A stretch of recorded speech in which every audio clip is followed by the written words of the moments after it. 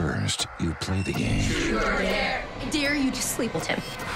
Then the game plays you. Truth or dare? Truth. Truth or dare.